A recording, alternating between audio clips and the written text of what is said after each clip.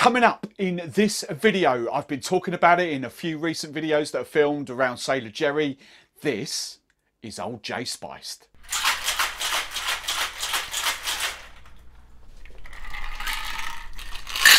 Now this was quite an important run for me a few years ago. So in this video, I'm going to deep dive and I'm going to tell you all about it. We're going to do a quick review and tasting as well. So Old J Spiced, what is the story behind it? Well, the marketing spiel is actually quite funny. Um, Admiral Edward Vernon, he's the, the Navy dude that put a stop to kind of the daily tot uh, back in 1740, I think it was.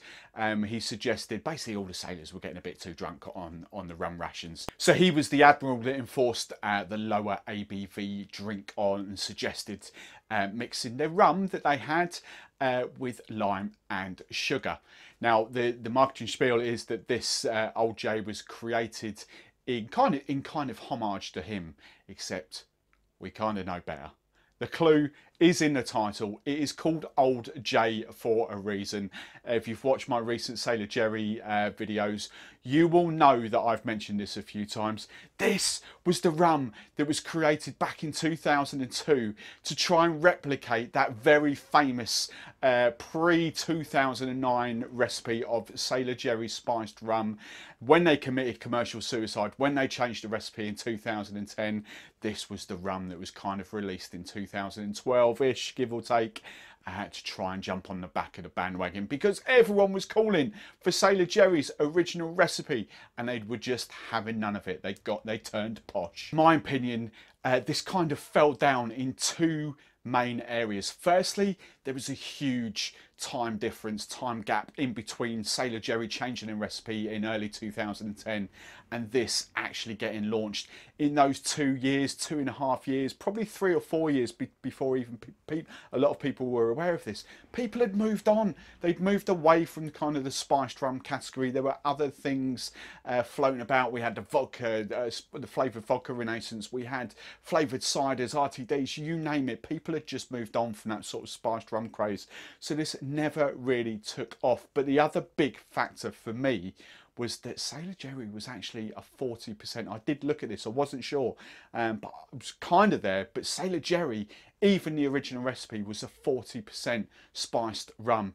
This isn't. This was released at 35% and legally, but in the UK, for it to be even classified as a rum or a spiced rum, it has to be a bare minimum of 37.5% ABV. So this isn't technically a spiced rum. And they've they've done that on the label because it's just literally called uh, I'll spin it around there it's just literally called Old J Spiced. It's technically a spirit based drink. So at 35% ABV you know it's still uh, it's still a pretty strong drink. It's a lot stronger than your kind of 20% Malibus and things like that.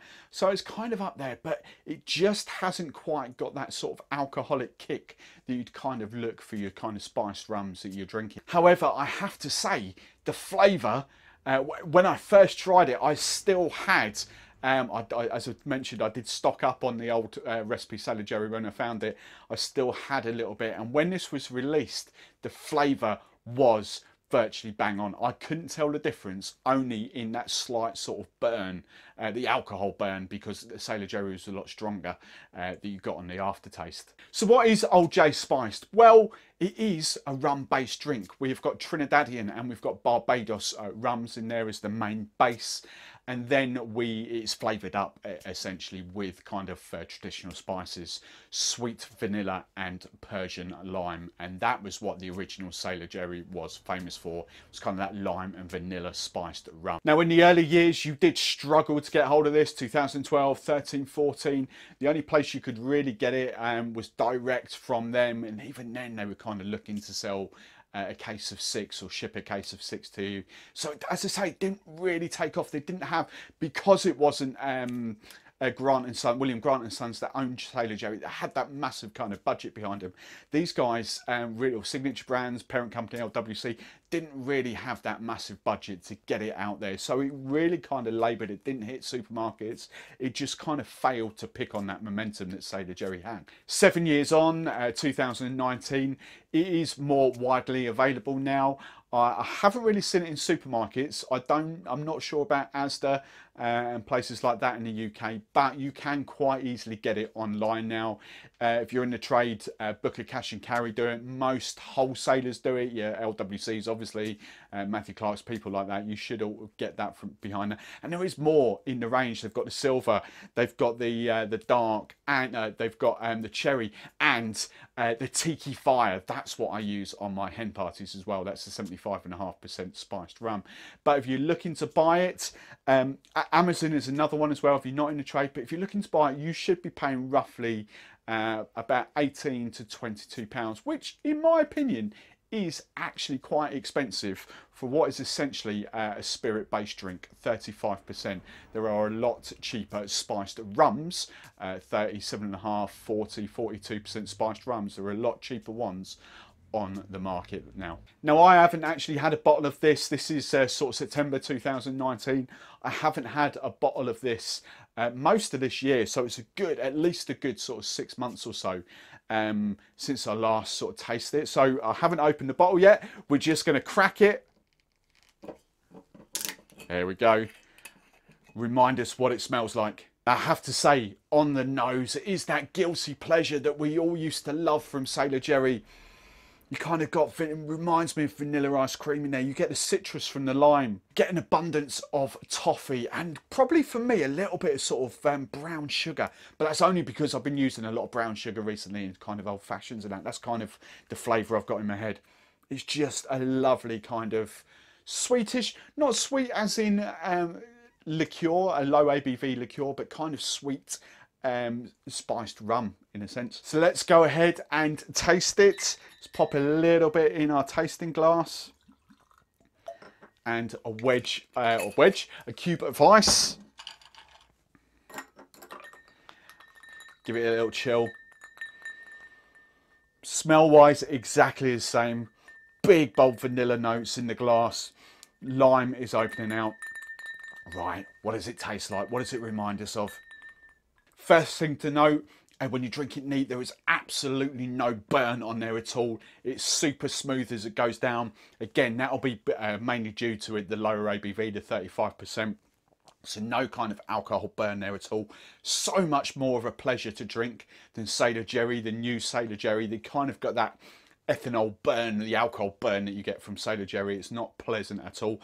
This is absolutely lovely the two things that I really, that sort of really, really jump out at me, that kind of takes me back, vanilla ice cream, that's what I'm tasting. Toffee popcorn as well, that's that's the sort of two flavours I get. But then on the after aftertaste, that's when the spices start to do their work. I've got a little, little hint of pepper uh, at the end there. We've got all the kind of, I can get a little bit of clove, a lot of cinnamon in there, maybe just a very, very slight hint of uh, kind of like star anise, uh, something like that. As I say, that is an absolute pleasure to drink neat. I've just done the tasting. Uh, back in the day, Sailor Jerry, um, the big, big out and out two serves with these two bad boys here. It was all about Sailor Jerry and Coke, all about Sailor, Sailor Jerry and ginger beer. Old J is actually no different whatsoever. Uh, I'm just going to quickly go through a rundown of what my sort of favourites were on there. So for me, out and out favourite was Coke. Uh, again, I use Coke Zero. I just think that just works exceptionally well together. It's kind of the vanilla, the lime. It's like, it's a vanilla Cuba Libre. It's just absolutely superb. So that was my out and out favourite uh, with Old Joe Spice there. A couple of others, uh, ginger beer. I actually, have I got a can? Yeah, I've got a can here. I actually preferred um, the Fever Tree ginger beer uh, over the old Jamaica with this. This was kind of more of the ginger beer that we had back in the day, back in sort of 2007, 2008. We didn't really have uh, the kind of fieriness from Fever Tree ginger beer then, but I actually think uh, that just adds a bit more the sort of sweetness of that kind of makes the drink too sweet with Old Jamaica. So I'm going Fever Tree uh, with that. That's my second favourite. Guilty Pleasures, uh, Mango and the Passion Fruit Rubicon. Absolutely lovely. They just work to treat. Um, but that was really interesting for me as well. This was, uh, that's Fever Tree Spiced Ginger Ale. I haven't actually tried that with uh, ginger ale before, but the spiced orange ginger ale worked very, very well. And then um, it was kind of, uh, I do normally love this, but actually I, I wasn't a huge, I, I think that just made the finished drink too sweet. Uh, this is Schweppes uh, Dark Spirit, oh, Muscovado Dark Spirit Mixer. So while that was lovely, um, you know, I think it was possibly a little bit too sweet for a lot of people. So the last one I'm actually going to recommend um, was, is Ting. I think the sweetness of that, the sharpness of Ting just balances out very, very well. So they are my kind of top four go-tos for Old J Spiced. Um, but let's not let's not beat around the bush a bit.